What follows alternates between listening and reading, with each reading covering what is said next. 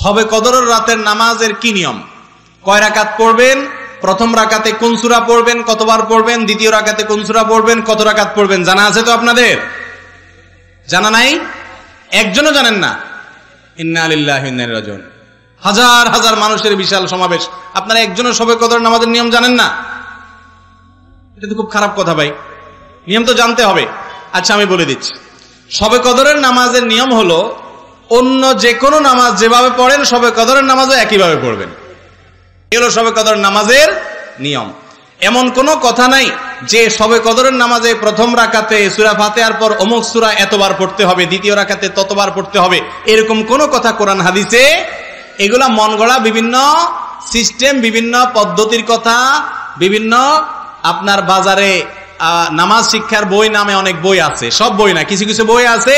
এসব বইতে সবে কদরের নামাজ, এত রাকাত, প্রথম রাকাতের এই নিয়ম, দ্বিতীয় রাকাতের ওই নিয়ম, এরকম বিভিন্ন কথা বলা আছে। এগুলো সব ভিত্তিহীন, মন গড়া। এগুলো কোরআন হাদিসে নাই। কোরআন হাদিসে লাইলাতুল কদরে অন্য রাতের মতো আপনি নামাজ পড়বেন। একটু লম্বা সময় নিয়ে পড়বেন। যে কোনো রাতের নামাজ তাহাজুদের নামাজ লম্বা সময় নিয়ে পড়তে হয়। দীর্ঘ রাকাত, দীর্ঘ রুকু, দীর্ঘ সিজদা, আস্তে আস্তে তেলাওয়াত, আস্তে আস্তে তাজবি এবং সময় নিয়ে পড়বেন। একবার আপনার ব্যাপার সুরা নির্ধারিত না। আপনি লাইলাতুল কদরের একটা জিনিস নির্ধারিত, সেটা হলো একটা দোয়া হাদিসে বর্ণিত হয়েছে। শিক্ষা দিয়েছেন, তুমি যদি লাইলাতুল কদর পাও, তাহলে দোয়া করবা। কি দোয়া? আল্লাহুম্মা ইন্নাকা আফুউন তুহিব্বুল আফওয়া ফাফু আল্লাহ আপনি ক্ষমাশীল, ক্ষমা করতে ভালোবাসেন, অতএব আমাকে ক্ষমা করে দেন। ক্ষমা করতে ভালোবাসেন, অতএব আমাকে ক্ষমা করে দেন। এই দোয়া পড়বেন লাইলাতুল কদরে। এছাড়া আল্লাহর কাছে যে কোনো দোয়া করবেন। দুরাকাত দুরাকাত করে নামাজ যতটুকু পারেন তৌফিকে কুলা পড়বেন। কোন সুরা, কেরাত, নিয়ম নির্ধারিত নাই। সারা রাত আপনি দোয়া করবেন এবাবন্দি করবেন। আর এই সবে কদর পাওয়ার জন্য সবে কদর এবাদতের আশায় রমজানের শেষ দশ রাতের সবগুলোতে, বিশেষ করে বেজরগুলোতে বেশি বেশি করে করবেন। শুধু সাতাইশ তারিখকেই করবেন, অন্যগুলোতে ঘুমাবেন। এটা সুন্না সম্মত লাইলাতুল কদরের তালাশ নয়। আমাদের আয়সা বলেছেন, কানান নবী সাল্লাল্লাহু আলাইহি ওয়াসাল্লাম ইদা দাখালাল আশার, রমজানের শেষ দশ দিন যখন শুরু হতো, বিশ রমজান যখন পার হয়ে যেত, একুশ রমজান যখন শুরু হয়ে যেত, তখন থেকে তিনি কয়েকটা কাজ করতেন। তার প্রথমটি হলো, কানা ইদা দাখালাল আশার আহিয়া রাতে আর ঘুমতেন না। শেষ দশকের রাতে আর ঘুমতেন না, সারা রাত জেগে ইবাদত করতেন। ও আই কাদা আহলাহ আর এই দশকে তার পরিবারের লোকদেরকে ঘুম থেকে ডেকে তুলতেন, কাউকে ঘুমোতে দিতেন না। কারণ এটা ঘুমানোর সময় নয়। ঘুম সারা বছর যাওয়া যাবে। এটা তো আল্লাহর পক্ষ থেকে পাওয়া অফারের সুযোগ। বিধায় এই সুযোগ হাতছাড়া করা যাবে না। পরিবারের লোকদেরকেও এবাদতের জন্য ডেকে তুলতেন। আর তিন নম্বর কাজ হলো অসাদ্দামে তিনি তার কোমর বেঁধে নিতেন।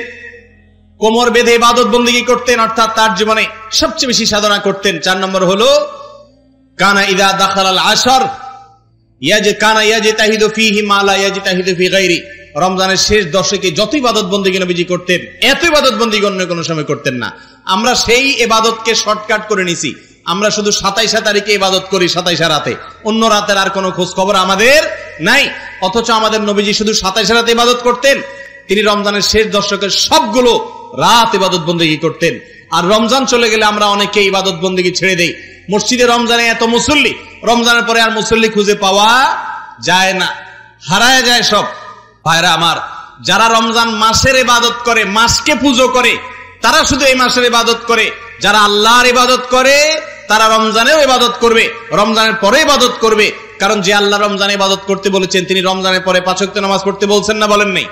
অতএব বছর জুড়ে রমজানের শিক্ষাকে আমরা ধরে রাখার চেষ্টা করব তো ইনশাআল্লাহ।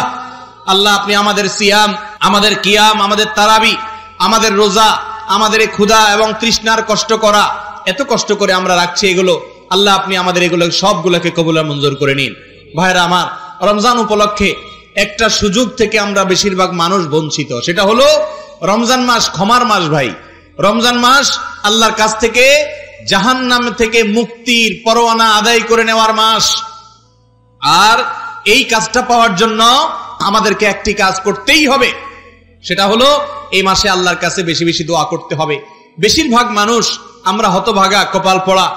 যে গোটা মাস চলে যায়, আজকে রমজানের কয়েকটা দিন চলে গেল। আমরা বেশিরভাগ মানুষ এই মাসে আল্লাহর কাছে চোখের পানি ফেলে একটু দোয়া করার সুযোগ পাই না। ভাইরা আমার, একান্তে নির্জনে একটু আল্লাহর সাথে কথা বলবেন। একটু দোয়া করবেন। আপনি এটা মনে করবেন না যে আমার দোয়া কি আর কবুল হবে? আমি কি আর কোনো হুজুর মানুষ? ভাইরা আমার, আপনি আল্লাহর বান্দা। আল্লাহ তালা তার বান্দার ইবাদত কবুল করবেন, বান্দার দোয়া কবুল করবেন।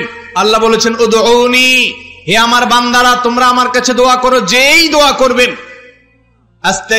আল্লাহ ওয়াদা করেছেন, আমি তোমাদের দোয়া কবুল করব। অতএব রমজান মাস চলে যাবে, আর আপনি দোয়া করবেন না, এটা কোনোদিনই হতে পারে না।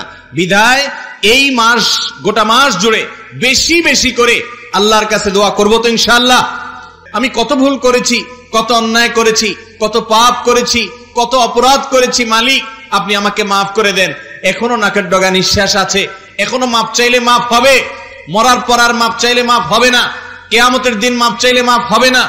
কবরে গিয়ে মাপ চাইলে আর মাফ হবে না। মাপের দরজা বন্ধ হয়ে যাবে। আল্লাহ এখনও তো আমার আমার নিঃশ্বাস আছে, এখনও তো আমার প্রাণ আছে, এখনও তো আমি জীবিত আছি।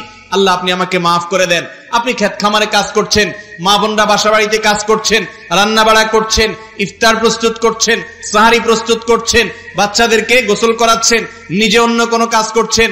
এই কাজের ফাঁকে ফাঁকে আল্লাহর সাথে একটু কথা বলেন।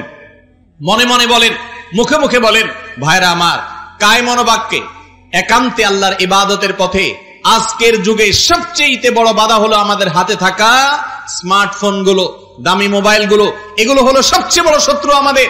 এগুলো একান্ত একটু আল্লাহর সাথে কথা বলতে দেয় না আমাদেরকে। আমাদের একান্ত সময়গুলো মোবাইল ফোন নিয়ে গেছে, স্মার্টফোন নিয়ে গেছে, সোশ্যাল মিডিয়া নিয়ে গেছে, ফেসবুক, ইউটিউব, টিকটক, লাইকে এগুলো নিয়ে গেছে। ভাইরা আমার, আমাদের নির্জনে একাকি সময়গুলো একটু আল্লাহর সাথে কথা বললে মনটা নির্ভার হবে, মনটা ফ্রেশ হবে, মনটা পবিত্র হবে, আপনি সফল হবেন আপনি সাফল্যের চূড়ান্ত শেখরে যেতে পারবেন, আপনার রমজান মাস সফল হবে। নবীজি সাল্লাহ সাল্লামের একটি হাদিস রয়েছে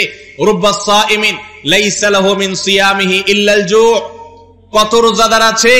যাদের রোজা থেকে উপোস থাকা ছাড়া, তারা ক্ষুধার্ত এবং পিপাসার্থ থাকা ছাড়া আর কোনো লাভ তাদের হয় না।